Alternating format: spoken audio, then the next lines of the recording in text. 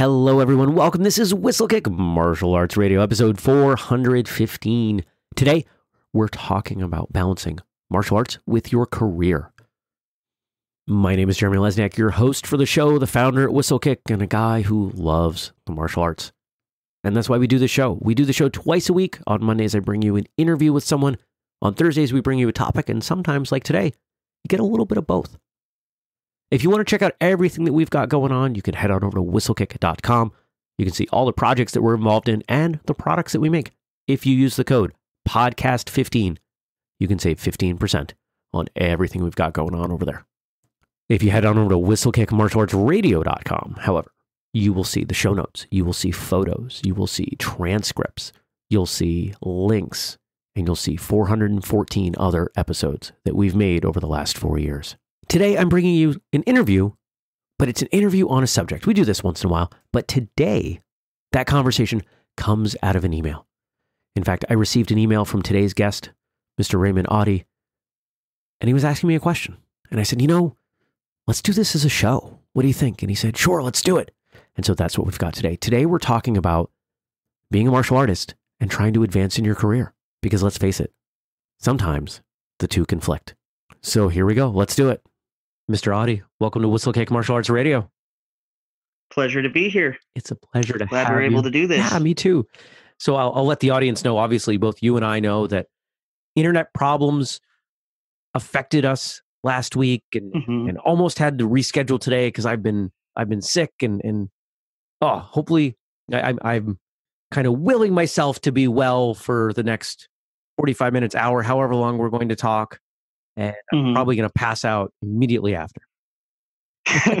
well, that sounds like a that sounds like a good plan. Make sure you're doing a lot of fluids Yeah. and all that. Yeah, well, I, I think I timed it just well enough that that I'm the appropriate amount of hy- being hydrated without having the need to press pause in the middle of this conversation for obvious reasons that we Ah, won't go into. right?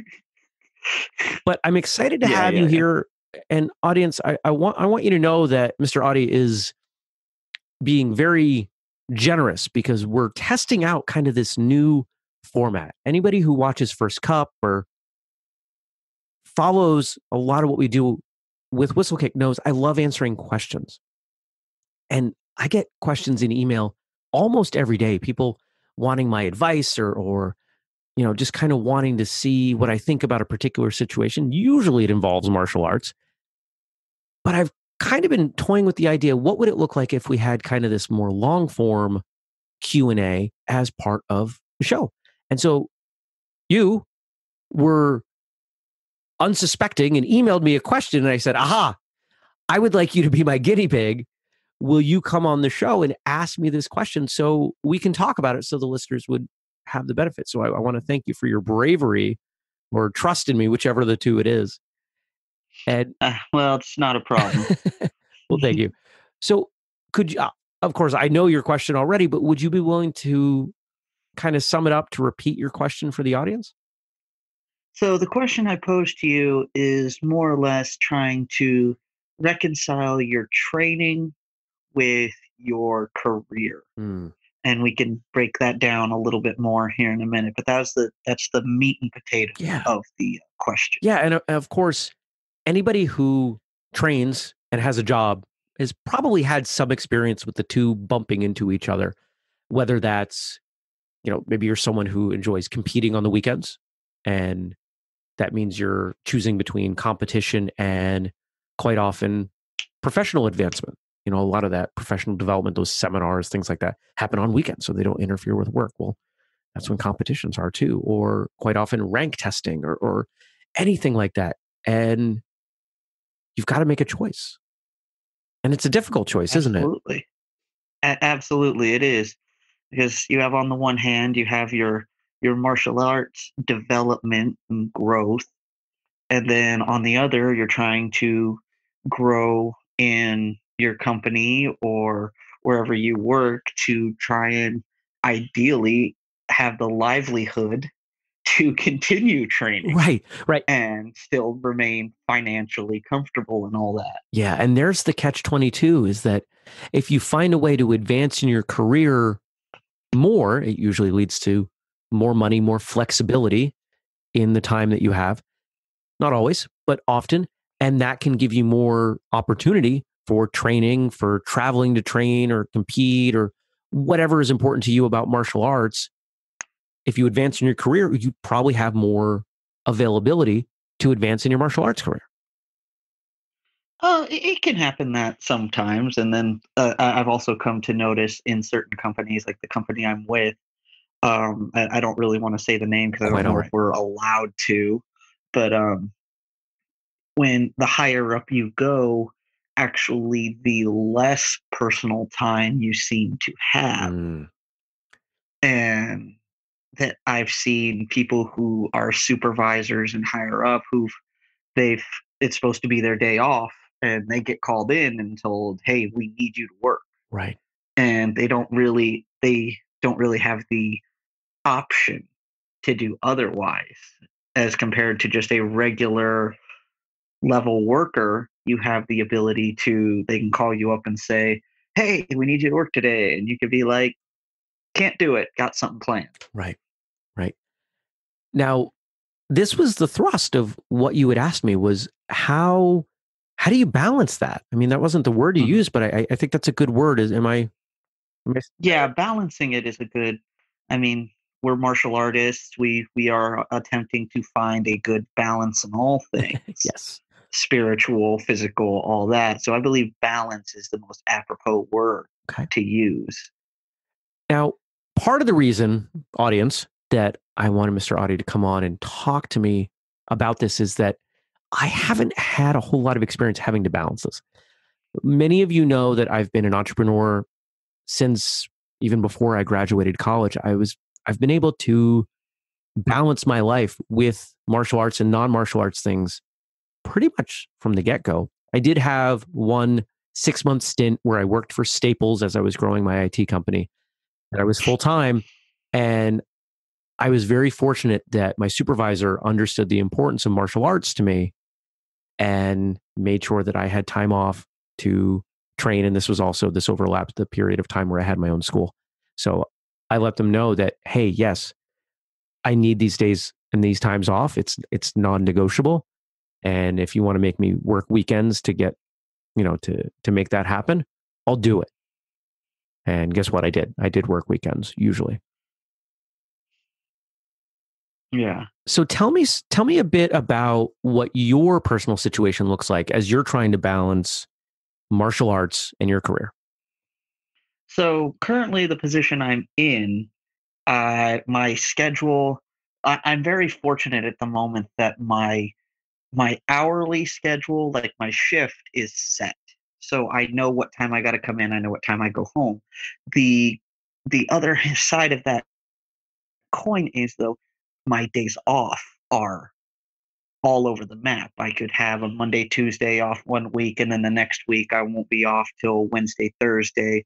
It makes it kind of difficult. I have to let them know well in advance for, like you said, belt testing or competition, things like that, and then hope and pray that I actually get the time approved.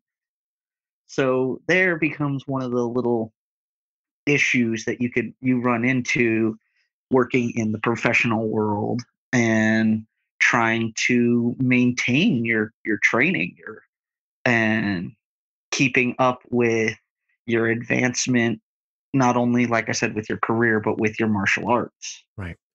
So it sounds like just with the job that you have with very little flexibility in when you're going to work, when when your days off are, which of course lead to when you're able to train, hmm you kind of have to sprinkle martial arts martial arts in when your career is making it available. Am I am I understanding that right? yeah it's it's it's more or less yeah you have to try i'm having to try to as you had the opposite issue you were trying to it seems like wedge work in between your martial arts i'm having to try and wedge my martial arts into my work and there was a period of time where uh when i was i was working overnights for the past almost year uh, a little over a year on my lunch break at like 12:30 a.m.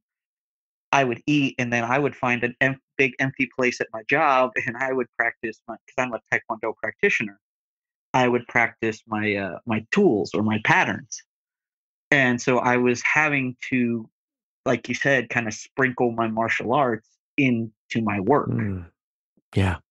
Now, I, I think it bears mentioning that you know this isn't a huge issue for a lot of people because a lot of people work you know eight to four nine to five some kind of more let's call it conventional work hours Mhm. but that's not you and so that's part of why Well, this- it is me now. Okay. It is me now. It wasn't until like about three weeks ago was when I went back to what you would consider conventional hours. I work from fairly early in the morning, 5 a.m. to 2 in the afternoon. And so that's been a little bit more, um, what's the word I could use? Uh, it, it, seems to allow my martial Mhm. arts a little bit more leniency and a little gives me back some of my time with the martial arts. But as you were saying, when I was working the more unconventional hours, it's it is very difficult because especially if you work overnight and any of your listeners who have had to do overnight shifts, they understand that you sleep for a good chunk of the day. yeah So you and then you have to get up uh, later in the day, make it to a martial arts class, make it to a seminar or something, come home and then go and do your job that night and hope you're not too tired or beat down or anything to perform your job properly. right and any anybody that's worked overnight third shift you know that kind of stuff understands how much of a toll it takes on your body. And for those of you who have not worked those sorts of hours if you do any amount of research on the general health of people who work those sorts of hours it's the data is not good. So the idea that that you can easily just kind of adjust just get up a few hours early things like that it's not the reality. And so it's important that mm-hmm. we understand that. And then to compound that there are some people who will you know they'll work these late hours and then on the other days you know they might try to live by a more normal schedule but adjusting back and forth can be really really exhausting and unhealthy. I don't know if you've tried to do that. And in my case, what I did was to avoid having to do that adjustment, I just maintained on my days off the same kind of sleep schedule Right. and everything. And that can kind of make for um, having issues with your with personal stuff and things like that, like trying to just even get stuff done around your own house. Yeah. I mean, when you're doing when you're mowing the lawn at 6 a.m. and then taking a shower and going to sleep, that's just a very odd feeling. I'm sure. I'm sure. Now, you had mentioned to me in your email that at one point you would even turn down a promotion because it was going to lead to even less opportunity to train. yes, um, the the school I was going to had only two classes for you for us to attend, and those were evening classes. And on those days, when you get a promotion at my current at my job, you have it is required to work a closing shift that night. So I wouldn't be getting off. The class would be at 6 p.m. I wouldn't be getting off until 11 p.m. or midnight on those days. So it would just completely eliminate me being able to go train Mm, and uh, I, I went to a, a small school. It was actually one that was held at a community center, so it's they didn't have the opportunity to have like some schools do. You can have morning classes, day classes, multiple days of the week.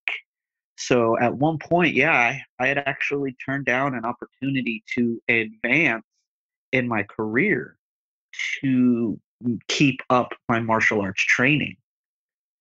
How did that feel? that that that wasn't an easy decision. I had to discuss it with my wife. Um, and as any of your listeners who are married, they know that is always the first step you do. You you always discuss it with your spouse. Should be anyway. and it, it it really should be. Um, and I, I, I don't always prescribe to the happy wife, happy life concept. Me and my wife go with happy spouse, happy house. Mm. So a lot of the decisions we we uh, we go, obviously go into together. But I discussed it with her, and luckily for me, I have an amazingly supportive wife, and she's actually the one who helped me find the the Taekwondo school I went to because she knew I wanted to get back into martial arts because I had taken time off, but I had to I had to sit down and talk with her and say, look, I at this moment, martial arts is one of my main focuses. I know I have the opportunity to go for this position, but what would you think of me passing it up to continue with my martial arts? And luckily, she was very supportive of that.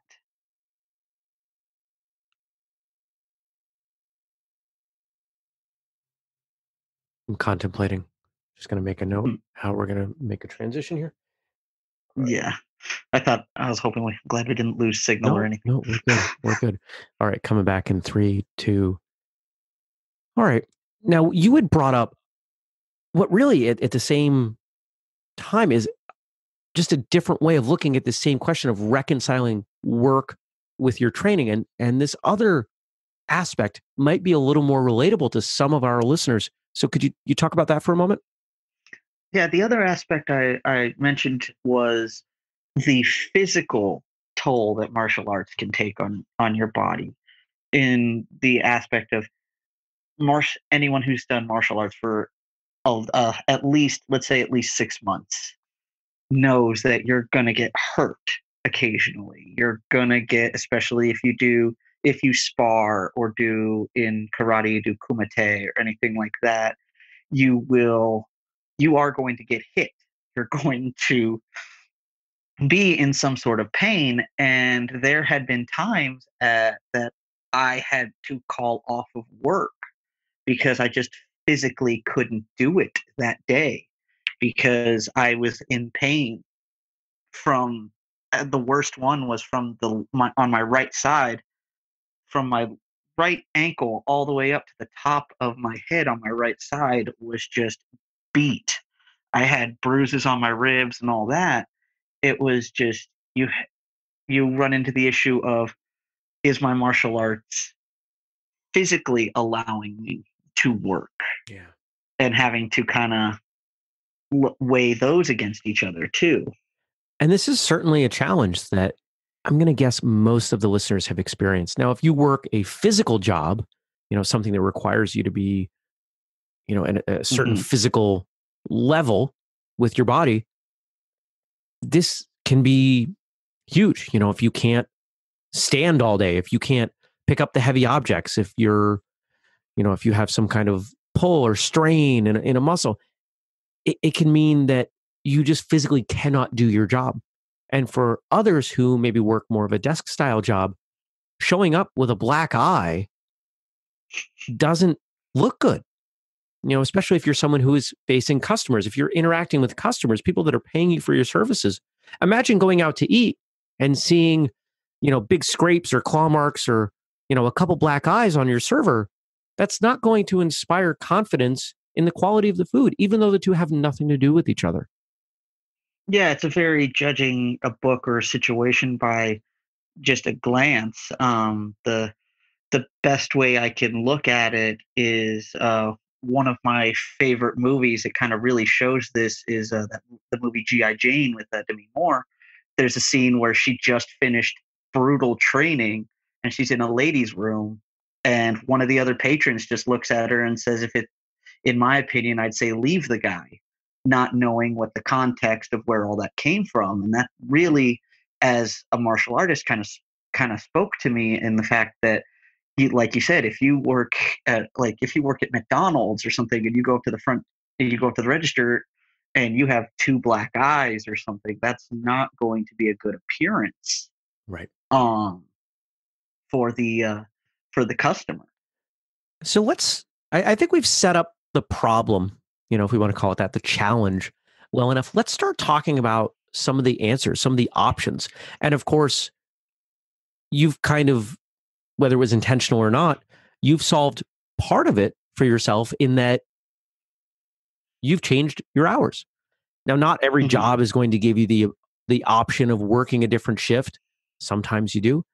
Sometimes, if you've got that really variable schedule, you know, I, I would say that I don't know of too many jobs where, you know, it's it can be any given time, any given day. You know, Sunday through Mhm. Saturday. You know, certainly the military offers some opportunities like that. Uh, but I think at the end of the day, no matter what job you're working, if you're not able to do anything that you want to do, if there's something that's really important to you, like martial arts, and you don't have the ability to even carve out a little bit of fixed space to have that, I think you need to look really long and hard at the the job itself. Is the job worth that sacrifice? Because that's a pretty substantial sacrifice. And I'm sure that, you know, if we're talking about a job like that, it's not just martial arts that's suffering, it's a social life. It's Mhm. you know if you if you're a single person and you're looking to date and maybe find a partner that's going to become limiting being out Mhm. mowing the lawn at 6 a.m i mean these these are things that most of us aren't going to want to engage in so i think a, a, the first step is looking long and hard at is this job a job that is going to satisfy all of my needs or just the financial needs did Mhm. you have that conversation with yourself at some point Um, I I did, and what I ca- I came to the uh, conclusion on was I, I absolutely love doing martial arts, but I had to weigh the financial well being of me and my spouse. So unfortunately, I had made the decision, but I, I got it was kind of a how would I put this? It's kind of two pronged. I had made what I thought was a decision that unfortunately meant I was going to have to give up martial arts. I actually went for a promotion and I didn't get the promotion, but that going for that promotion allowed me to be put in another position where I could still do martial arts, Mm. but get a diff get more skill sets. So it was it was a very interesting kind of situation there. I, I had resigned myself that, okay, I'm going to have to put off my martial arts training. And it, it's not a fun decision to have to make if- No. for anyone who's been, who's listened, who has had to put their martial arts on the back burner more or less. I'd already done that once when I was in high school. And having to do it again was kind of a hard, hard pill to swallow but I had to make that decision. And it, it did take some reflection. It did take a lot of inner thought and also, again, conversations with my wife to make the decision. And ultimately, she had said that whatever decision I make will be, she will support. And that was really the the crux of it was um because she knew how happy martial arts makes me. Right. I, I absolutely love it. I, I love going to uh the the dojang when doing taekwondo and just working out with the people, the camaraderie, the uh, the skill sets you learn, and everything there. But she also knew that my career is important to me. I'm a very driven person. The day I graduated high school, my grandfather told me that you have a high school diploma, so you can do anything from digging a ditch to running a bank. But no matter what you do, you do it your absolute best. And so, even though I don't work in what would be considered a high powered or glamorous job, I give it my absolute best. Right. And so that was really where I was I, I made the decision and I'm like, okay, I, I gotta do this. I, I martial arts is a big part of my life, but I was able to come back to it before. It never went away for me. So I I went for that promotion and then like I said I didn't get it, but they said we will we can move you to another spot. You'll have more conventional hours and it'll give you an opportunity down the line for possible advancement. So Great. that that that that choice is still not gone because I do have the opportunity in oh down the line to go up. Mhm. So it's trying to it's still a matter of reconciling that. Okay. Now the the next step, the next thing I guess I would I would ask, you know, if, if you had kind of gotten stuck with these hours that you you couldn't train, it would have been is there a school that you can change to? Right? Because not every school has classes two days a week. Some schools have classes six or seven days a week. Some schools have classes, if you're in a large enough area, they offer classes through the day. I've seen schools with morning classes and noon classes, early. Oh, the, the first later martial arts school I went to had you had classes starting at 8 a.m. and going all the way to 7 p.m. at night. Mm. The only issue was the and you you had discussed this before uh, a few episodes back, I believe, or it was further back. I remember the conversation you had on the cost of martial arts, the financial and that was really the thing was trying to find another school in the area that I could afford. Mm, So that was the thing that got me with the with doing the taekwondo. Like I said, it was held at a, a adult center, so it was far less expensive to do. It was I was paying less than thirty dollars a month. Okay. Whereas most conventional schools, whether it be a karate school, because we do have a few uh, schools in my area, it's just most of them start at about ninety dollars to a hundred and something a month. Yep. So it was just a matter of, well, I would have to put it off for a little bit and then possibly find a school that I could once you know getting promoted generally comes with a pay increase. Yep. I could eventually afford once we've you know managed our our finances. I guess the next the next piece would be what can you do on your own? So let's say you're at a school that you know it's the 2 days a week and once in a while you can make it with your hours but not reliably, not consistently, which kind of describes my Mhm. relationship with taekwondo right now. I'm not able to attend often, but I Mhm. still train on my own.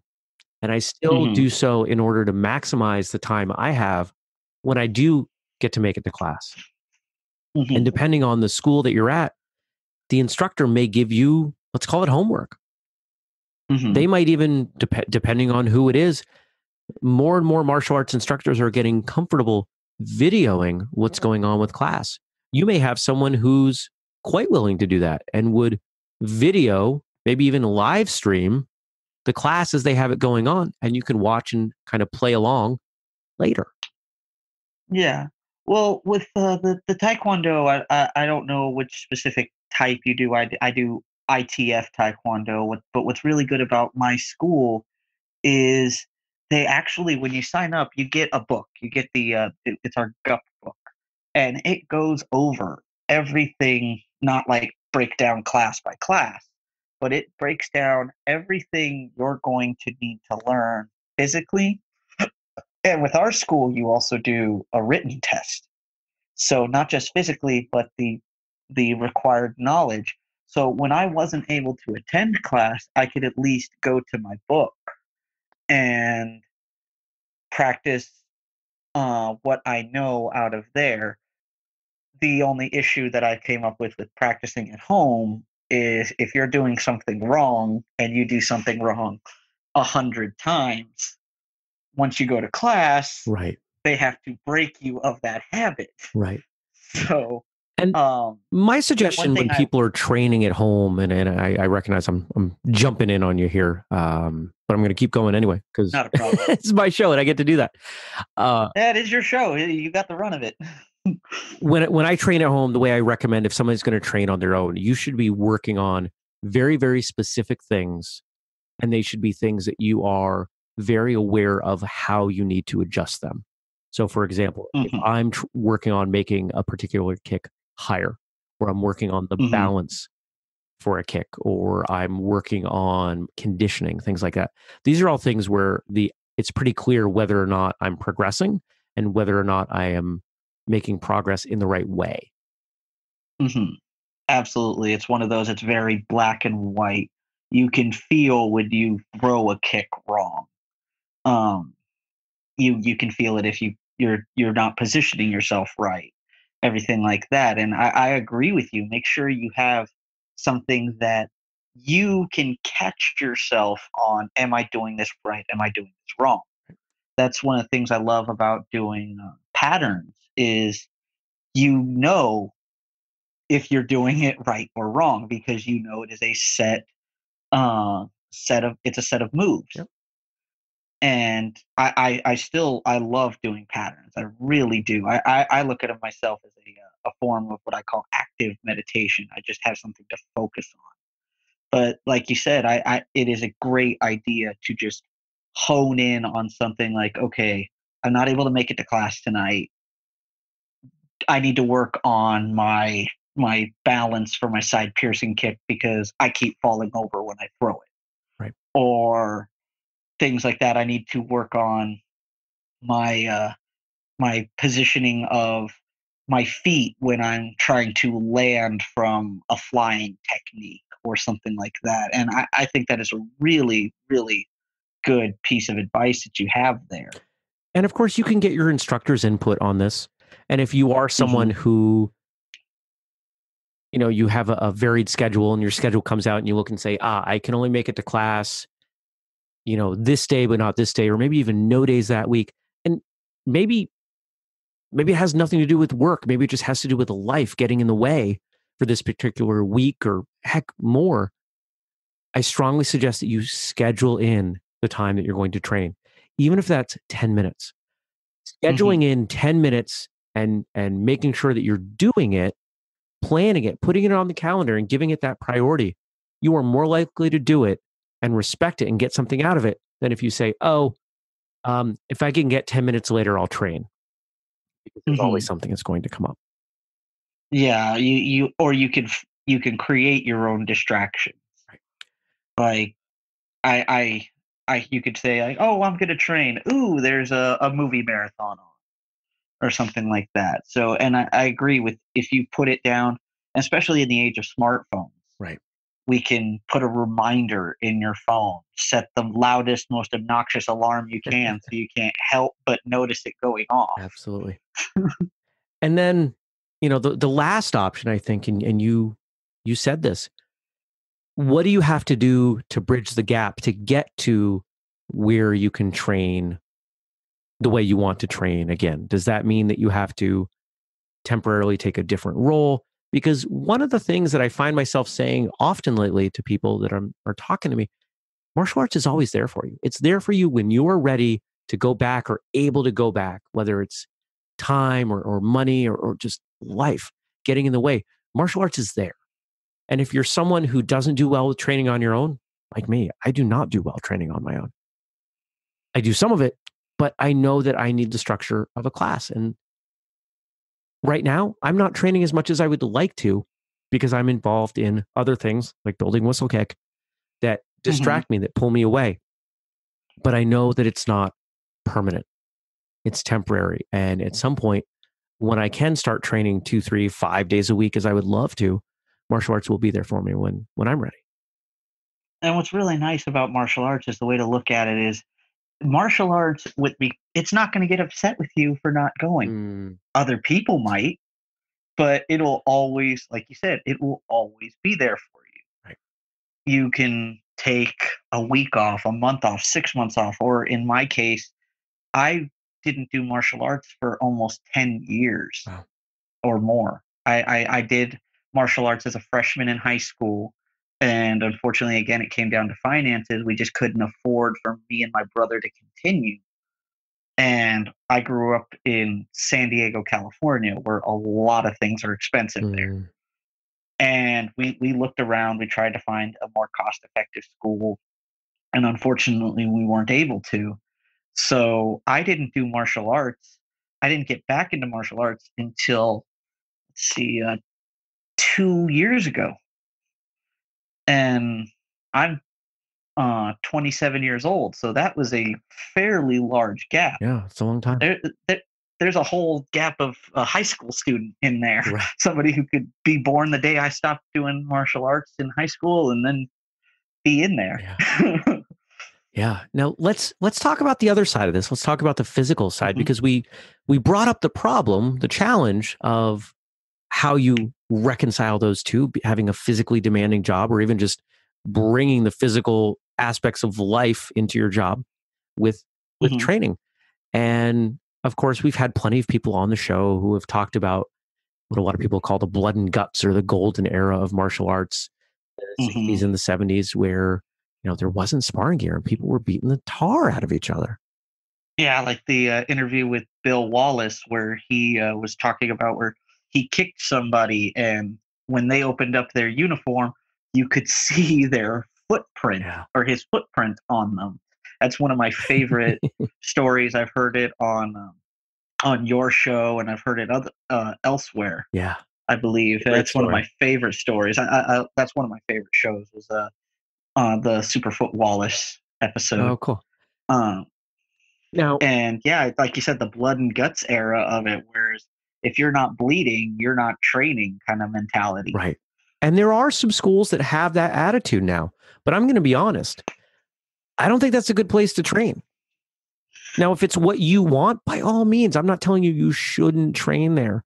But most of us, as evidenced by the fact that this episode even exists, and if you're listening, you're still listening, have to balance work and training or life and training, depending on how you're looking at it. And we Mhm. need that opportunity to find a way, even within our job, to, you know, hopefully carve out some variability uh, for balance for our training and do the same thing within our training. Now, I've had times where I've been, you know, I've, I've needed my body for things and said to the Mhm. people that I'm training with, hey, I need to dial it back today. I need to go do XYZ tomorrow or this weekend or whatever. And I want to train, but I don't want to take the risk. And some people might look at that and say, well, you know, you're doing your training a disservice or, yeah, absolutely. Because Mhm. we're talking about balance. And I've even actually had the uh, exact opposite situation where I have been at work and I've been like, hey, I need to take it easy at work because I actually do have a fairly physically demanding job. And because I had a tournament the next day. So I was like, hey, I need to t- kind of dial it back tonight. So when I go to my tournament the next day, I'm fresh. I'm good. I'm not trying to fight a back strain or something like that. And like you said, it, I, I feel like I was doing my job a disservice. But like you, like we've been saying, the the the whole crux of this episode, not or not the crux, but the whole underlying theme that I've been kind of paying attention to is balance. We have to have that balance. And you, like you said, you you do, you've uh, we've all done it. Probably we've done our training a what people consider a disservice by going lighter in training because you had something personal uh, the next day, and then I've done, and I'm sure other people have done. They've gone lighter at their job because they have a martial arts thing the next day. So it's it's very much like you've been like you've been saying as a balance, trying to find that good uh that good spot right in the middle, the the, the traditional martial arts idea or of yin yang. You have to have that. And I think the key is communication. It's communicating with Mhm. yourself to understand what your physical needs are in and outside Mhm. of training. It's communicating with your instructor to let them know what your expectations are and what your needs are.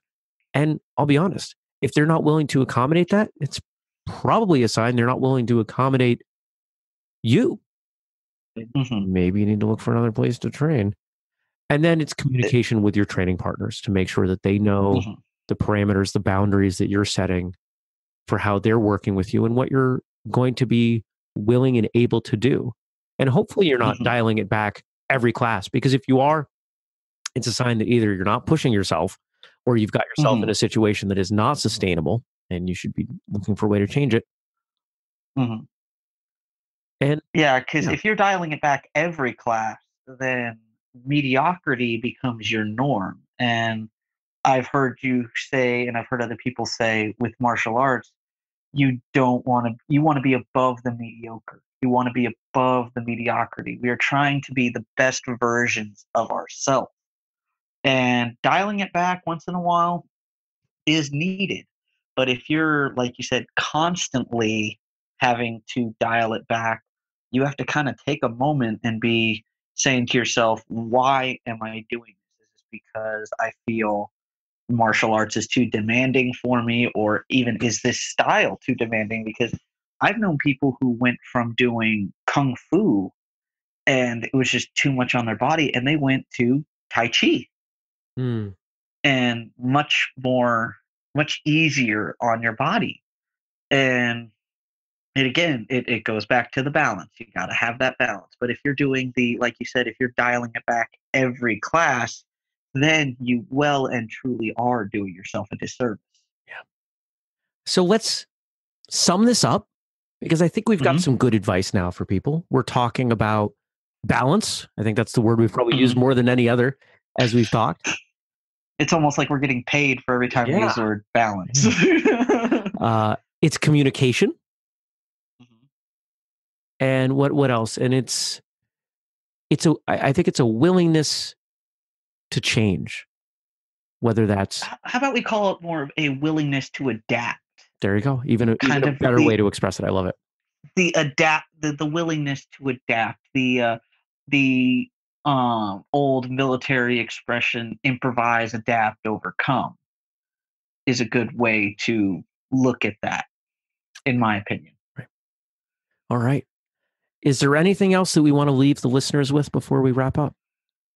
Um just uh if you're in the position that i've been in um especially if you're having to if your livelihood is not just your own but you have a wife a husband kids anyone you're taking care of and you're going to make one of these decisions it i, I implore you communicate like we said but communicate with your family communicate with your other half.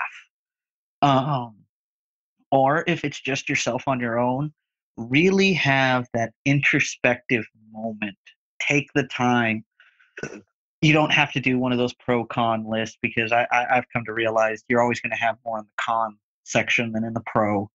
But have that moment have that time to make the informed make the decision that is the best for you and and don't let other people tell you what is the best for you. Only you can do that and i know that seems to oppose the the concept of talking it over with your family but ideally if you have to talk it over with your family they are on board with whatever decision you make and they will support you. And i think that's one of the things you got to look at is make sure you really take that long look in the mirror and decide what is important. And for some people you have to like I, I put like i said have to put off martial arts. Other times it could be more beneficial to yourself and your own well-being not so much financially but just you as a person to make that decision to make martial arts your number one. And that's that's just what i i, I kind of want to give to the listeners i thought we had a great conversation and i thought we ended up with some good advice some good thoughts and i hope that you got something out of it i want to thank mr Auty for coming on the show for being so kind and hospitable to me figuring out this sort of new format that honestly I liked and I would like to do more of. If you have a question that you'd like to ask me on air, go ahead, send me an email, jeremy at whistlekick.com. And of course, you can find everything we've got going on at whistlekick.com. Don't forget the code podcast15. Whistlekickmartialartsradio.com is the place for the transcript, photos, links, signing up for the newsletter, and a whole bunch more. If you're willing to help us out, there are a lot of ways you can do that. Everything from making a purchase to sharing an episode to leaving a review on Apple Podcasts or Stitcher or wherever works for you. All of our social media is at Whistlekick, whether that's Facebook, Twitter, YouTube, and Instagram. And I already told you my email address. I'm running down a list if you can't tell. I hope you have the best of days. And until next time, train hard, smile, and have a great day.